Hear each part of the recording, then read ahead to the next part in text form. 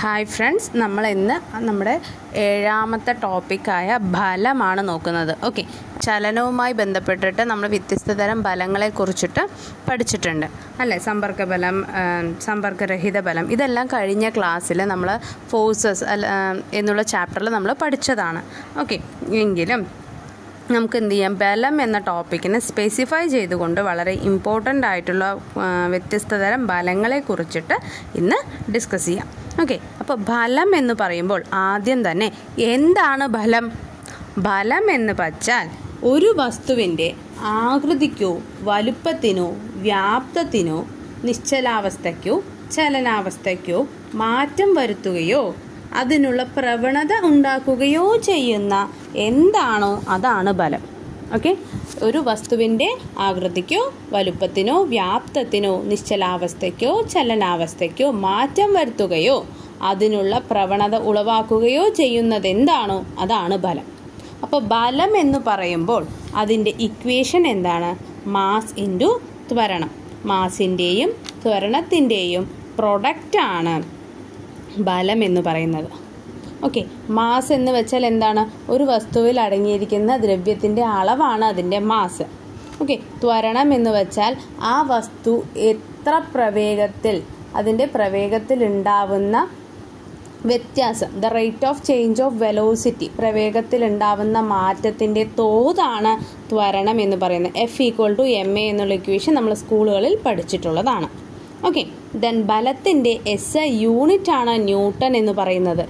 Newton എന്ന് പറയുമ്പോൾ എന്താണ്? അതിന് മറ്റൊരു യൂണിറ്റ് ഉണ്ട്. Kilogram metre per second. മാസിന്റെ S I unit ആയിട്ടുള്ള കിലോഗ്രാമും ത്വരണത്തിന്റെ മീറ്റർ പെർ സെക്കൻഡ് സ്ക്വയറും ചേർന്ന ഒരു ന്യൂട്ടൺ എന്ന് പറയുമ്പോൾ ഒരു kilogram metre per second square ആയിട്ട് നമുക്ക് കണക്കാക്കാം. ഓക്കെ അതിന്റെ സി ജി എസ് യൂണിറ്റ് ആണ് ഡയൻ എന്നുള്ളത്. എസ് ഐ യൂണിറ്റ് എന്താണ്? ന്യൂട്ടനാണ് ബലത്തിന്റെ സി ജി എസ് യൂണിറ്റ് എന്താണ്? ഡയൻ ആണ്. ഓക്കെ ഡയൻ എന്ന് പറയുമ്പോൾ ഒരു ന്യൂട്ടൺ എന്ന് പറയുന്നത് ten raise to five dyne ആയിട്ട് വരും. ഓക്കെ ഒരു ന്യൂട്ടൺ എന്ന് വെച്ചാൽ ten raise to five dyne ആണ്. ഒരു വസ്തുവിന്മേൽ ഭൂമി പ്രയോഗിക്കുന്ന ആകർഷണ ബലമാണ് അതിന്റെ ഭാരം എന്ന് പറയുന്നത്. ഓക്കെ മാസ് എന്ന് പറഞ്ഞപ്പോൾ ഞാൻ എന്ത് പറഞ്ഞു? അതിന്റെ അടങ്ങിയിരിക്കുന്ന ദ്രവ്യത്തിന്റെ അളവാണ് മാസ്. അപ്പോൾ ഭാരം എന്ന് പറയുന്നത് വെയിറ്റ് ആണ്. ഓക്കെ വെയിറ്റ് ആണ്. അതായത് ഒരു ഭൂമി ഒരു വസ്തുവിനെ ആകർഷിക്കാനായിട്ട് എത്ര ബലമാണോ ഉപയോഗിക്കുന്നത്. അതാണ് അതിന്റെ ഭാരം. അപ്പോൾ അതെങ്ങനെയാണ് വെയിറ്റ് കണക്കാക്കുക? M into G mass into gravitational force ആണ് നമ്മളുടെ ഭാരം എന്ന് പറയുന്നത്. ഓക്കെ ചലനവുമായി ബന്ധപ്പെട്ട ബലം ഏതാണ്? യാന്ത്രിക ബലം അഥവാ മെക്കാനിക്കൽ ഫോഴ്സ് എന്ന് പറയാം. ദെൻ പ്രകൃതിയിലെ ഏറ്റവും ശക്തമായ ബലമാണ് ന്യൂക്ലിയർ ബലം എന്നുള്ളത്. പ്രകൃതിയിലെ ഏറ്റവും ശക്തമായ ബലമാണ് ന്യൂക്ലിയർ ബലം. പ്രകൃതിയിലെ ഏറ്റവും ദുർബലമായ ബലം ഏതാണപ്പോൾ? ഗുരുത്വാകർഷണ ബലം. അല്ലെ? ഉണ്ടെന്ന് നമുക്ക് എല്ലാവർക്കും അറിയുമെങ്കിലും നമ്മൾക്ക് ഫീൽ ചെയ്യാത്ത ഒരു ബലമാണ് ഈ ഗുരുത്വാകർഷണ ബലം. പ്രകൃതിയിലെ ഏറ്റവും ദുർബലമായ ബലമാണ് ഗുരുത്വാകർഷണ ബലം. ഇനി നമ്മുടെ മനുഷ്യരുടെ പ്രവർത്തനം ചെയ്യാൻ ഉപയോഗിക്കുന്ന ബലമാണ് പേശി ബലം എന്നുള്ളത്. മനുഷ്യർ പ്രവർത്തനം ചെയ്യാൻ ഉപയോഗിക്കുന്നത് പേശി ബലമാണ്. ദെൻ കാന്തത്തിന്റെ ആകർഷണ വികർഷണ സ്വഭാവം കാണിക്കുന്ന എന്താണ്? കാന്തിക ബലമാണ്. നമ്മൾ മുടിയിൽ ഉരസുന്ന പ്ലാസ്റ്റിക് പേനയ്ക്ക് പേപ്പറുകളെ ആകർഷിക്കാൻ കഴിയുന്നത് ഏത് ബലമാണ്? സ്ഥിതവൈദ്യുതി അഥവാ ഇലക്ട്രോസ്റ്റാറ്റിക് ഫോഴ്സ് ആണ്. ദെൻ പ്രപഞ്ചത്തിലെ വസ്തുക്കൾ പരസ്പരം ആകർഷിക്കപ്പെടുന്ന ബലം ഏതാണ്? ഗുരുത്വാകർഷണ ബലമാണ്. ഓക്കെ ദെൻ സമ്പർക്കബലവും സമ്പർക്കരഹിത ബലവും എല്ലാം ഞാൻ കുറച്ച് മുമ്പ് പറഞ്ഞതുപോലെ തന്നെ നമ്മൾ ഫോഴ്സസ് എന്ന ചാപ്റ്ററിൽ ലോസ് ഓഫ് മോഷനൊക്കെ പഠിക്കുമ്പോൾ ആ ചാപ്റ്ററിൽ നമ്മൾ ഉപയോഗിച്ചിട്ടുള്ളത് സോറി നമ്മൾ ഡിസ്കസ് ചെയ്തിട്ടുള്ളതാണ്. ദെൻ ഇനി എന്താണ്? ഘർഷണ ബലം ഘർഷണ ബലം എന്ന് പറയുമ്പോൾ ഫ്രിക്ഷണൽ ഫോഴ്സ് ഫ്രിക്ഷണൽ ഫോഴ്സ് അതാണ് ഘർഷണ ബലം എന്ന് പറയുന്നത്. രണ്ട് തരത്തിലുള്ള ഫ്രിക്ഷണൽ ഫോഴ്സ് ആണ് ഉള്ളത്. എന്താണ് നിരങ്ങൽ ഘർഷണവും ഉരുളൽ ഘർഷണവും? ഘർഷണം എന്ന് പറയുമ്പോൾ ഒരു വസ്തു മറ്റൊരു വസ്തുവിന്റെ മുകളിലൂടെ നീങ്ങുമ്പോൾ അവ തമ്മിൽ പരസ്പരം ടച്ച് ചെയ്യുന്ന ഭാഗത്ത് അവ തമ്മിൽ കോണ്ടാക്റ്റ് വരുന്ന ഭാഗത്ത് ഉണ്ടാവുന്ന ഒരു ബലമാണ് ഘർഷണ ബലം എന്ന് പറയുന്നത്. ഘർഷണ ബലം സാധാരണയായി അതിന്റെ വസ്തുവിന്റെ ചലനത്തിനെ എതിർക്കുന്ന രീതിയിൽ ഓപ്പോസിറ്റ് ഡയറക്ഷനിലായിട്ടായിരിക്കും ഉണ്ടാവുക. അപ്പോൾ നമ്മൾക്ക് എങ്ങനെ പറയാം? ഒരു പ്രതലം മറ്റൊരു പ്രതലത്തിലൂടെ ചലിക്കുമ്പോഴോ ചലിക്കാൻ ശ്രമിക്കുമ്പോഴോ അവയുടെ ആപേക്ഷിക ചലനത്തെ എതിർക്കുന്ന തരത്തിൽ അവയ്ക്കിടയിൽ പ്രതലത്തിന് സമാന്തരമായ ഒരു ബലം അനുഭവപ്പെടുന്നു. അതാണ് ഘർഷണ ബലം. രണ്ട് തരത്തിലുള്ള ഘർഷണ ബലങ്ങളാണുള്ളത് ഉരുളൽ ഘർഷണവും നിരങ്ങൽ ഘർഷണവും. ഒരു വസ്തു മസ്തു മറ്റൊരു വസ്തുവിന് മുകളിലൂടെ ഉരുണ്ടു നീങ്ങുമ്പോൾ അനുഭവപ്പെടുന്ന ഘർഷണ ബലമാണ് ഉരുളൽ ഘർഷണം. അതേപോലെ തന്നെ ഒരു വസ്തു മറ്റൊരു വസ്തുവിന് മുകളിലൂടെ നിരങ്ങി നീങ്ങുമ്പോൾ അനുഭവപ്പെടുന്ന ഘർഷണ ഫലമാണ് നിരങ്ങൽ ഘർഷണം. മനസ്സിലായില്ലേ? ഇനി ഉരുളൽ ഘർഷണം നിര നിരങ്ങൽ ഘർഷണത്തേക്കാൾ കുറവായിരിക്കും. ഓക്കെ ഉരുളൽ ഘർഷണം എപ്പോഴും നിരങ്ങൽ ഘർഷണത്തേക്കാൾ കുറവായിരിക്കും. ഓക്കെ പ്രതലങ്ങളുടെ മിനുസം കൂടുന്തോറും എന്ത് സംഭവിക്കുന്നു? ഘർഷണം കുറയുന്നു. ഓക്കെ മിനുസം കൂടുന്തോറും ഘർഷണ ബലം കുറയുന്നു. അപ്പോൾ ഘർഷണ ബലം കുറയ്ക്കാനായിട്ട് നമ്മൾ ചെയ്യുന്ന ഒരുപാട് കാര്യങ്ങളുണ്ട് അല്ലേ? എന്തൊക്കെയാണ് ഘർഷണ ബലം കുറയ്ക്കേണ്ട സാഹചര്യങ്ങൾ എവിടെയൊക്കെയാണ്? യന്ത്രങ്ങളിൽ അല്ലേ? യന്ത്രങ്ങളിൽ ഘർഷണം കുറയ്ക്കാനായിട്ട് നമ്മൾ എന്ത് ചെയ്യുന്നു? ഓയിൽ ഗ്രീസ് മുതലായവ ഉപയോഗിക്കുന്നു. യാന്ത്രിക ഭാഗങ്ങളിൽ ഓയിൽ ഗ്രീസ് പോലെ തന്നെ ഉപയോഗിക്കുന്നത്. ഗരമായിട്ടുള്ള ഒരു വസ്തു നമ്മൾ എന്തായിട്ട് ഉപയോഗിക്കാറുണ്ട് ഫ്രിക്ഷൻ കുറയ്ക്കാനായിട്ട് സ്നേഹകമായിട്ട് ലൂബ്രിക്കന്റ് എന്ന് പറയും. അല്ലേ? സ്നേഹകമായി ഉപയോഗിക്കാറുണ്ട്. ഗരാവസ്ഥയിലുള്ള ഒരു സ്നേഹകം ഏതാണ്? ഗ്രാഫൈറ്റ് ആണ് അല്ലേ? ഗ്രാഫൈറ്റ് ഒരു ഖരാവസ്ഥയിലുള്ള സ്നേഹകമാണ്.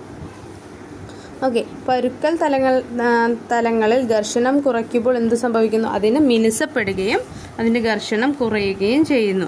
മഴക്കാലങ്ങളിൽ റോഡുകളിലെ ഘർഷണം കുറയുന്നതിനാലാണ് തെന്നി വീഴുന്നതും റോഡുകളിൽ ആക്സിഡന്റ് സംഭവിക്കുന്നതും. നമ്മുടെ ഘർഷണം കൂട്ടുന്നതിനായി ഇപ്പോൾ കുറയ്ക്കുന്ന സാഹചര്യങ്ങൾ നമ്മൾ ഡിസ്കസ് ചെയ്തു. അതിനുവേണ്ടി നമ്മൾ ലൂബ്രിക്കൻസ് അഥവാ സ്നേഹങ്ങൾ ഉപയോഗിക്കുന്നു എന്ന് പറഞ്ഞു. ഇനി ഘർഷണം കൂട്ടാനായിട്ട് ചെയ്യുന്ന സാഹചര്യങ്ങളുണ്ടോ? അത് ഏതൊക്കെ സാഹചര്യങ്ങളാണ് നമ്മൾ ഘർഷണം കൂട്ടുന്നത്?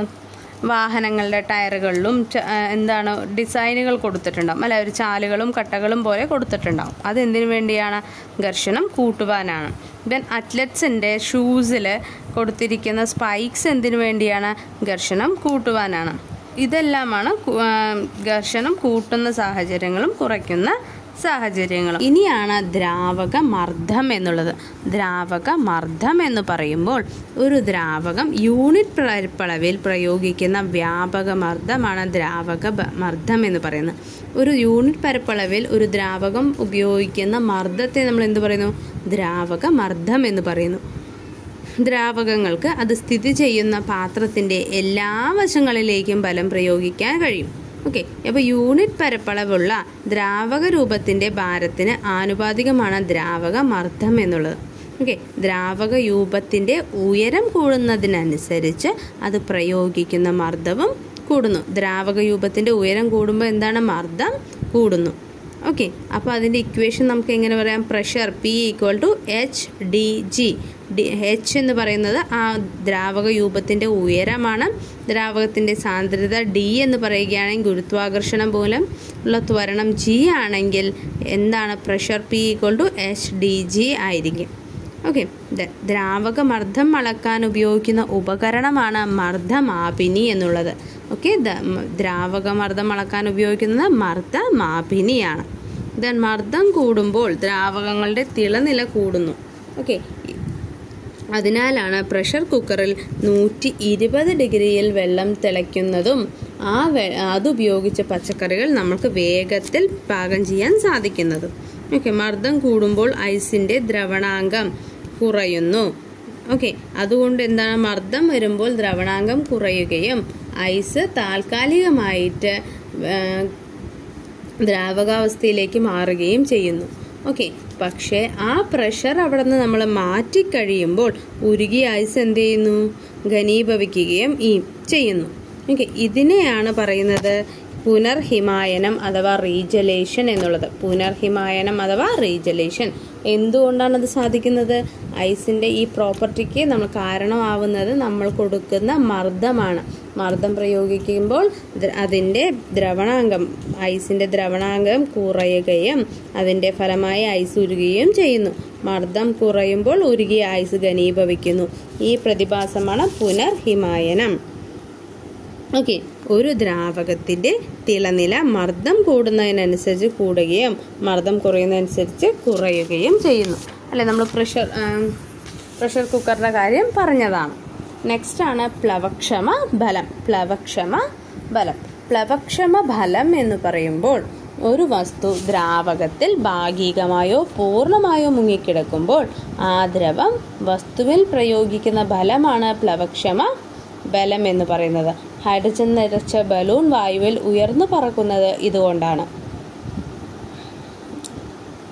ഇതിനെ സ്വാധീനിക്കുന്ന ഘടകങ്ങൾ എന്ന് പറയുന്നത് ദ്രാവകത്തിന്റെ സാന്ദ്രതയും വസ്തുവിന്റെ വ്യാപ്തവുമാണ്. ദ്രാവകത്തിന്റെ സാന്ദ്രതയും വസ്തുവിന്റെ വ്യാപ്തവുമാണ് പ്ലവക്ഷമ ബലത്തെ സ്വാധീനിക്കുന്നത്.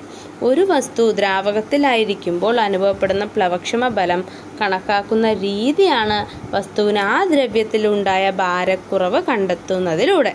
ഓക്കെ ആ വസ്തുവിന് ആ ഒരു വസ്തു ഒരു ദ്രാവകത്തിൽ മുങ്ങുമ്പോൾ അതിന് എത്ര ഭാര വ്യത്യാസമുണ്ടായി എന്നതിൽ നിന്നും നമുക്ക് എന്ത് കണക്കാക്കാം? ആ വസ് ദ്രാവകത്തിന്റെ പ്ലവക്ഷമ ബലം കണ്ടെത്താൻ സാധിക്കും.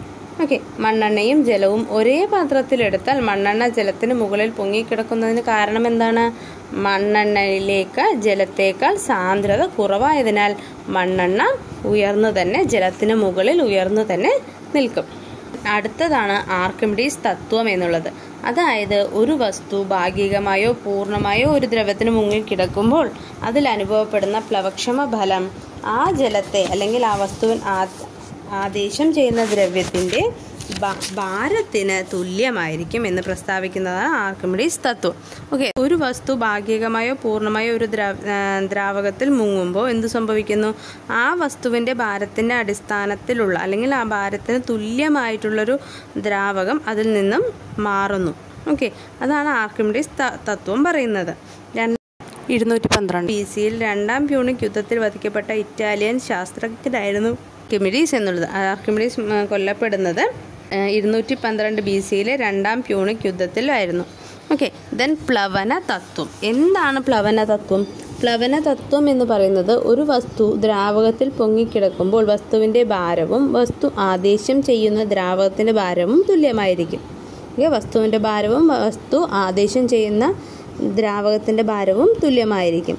ഒരു വസ്തു ദ്രാവകത്തിൽ മുങ്ങിയിരിക്കുമ്പോൾ ആദേശം ചെയ്യുന്ന ദ്രാവത്തിന്റെ വ്യാപ്തം വസ്തുവിന്റെ വ്യാപ്തത്തിന് തുല്യമായിരിക്കും. എന്താണ് മാസും വോള്യൂമും നമ്മൾ ഡിസ്പ്ലേ റീപ്ലേസ് ചെയ്യുന്ന ദ്രാവകത്തിന്റെ ഈക്വൽ ആയിരിക്കും എന്നാണ് പറയുന്നത്.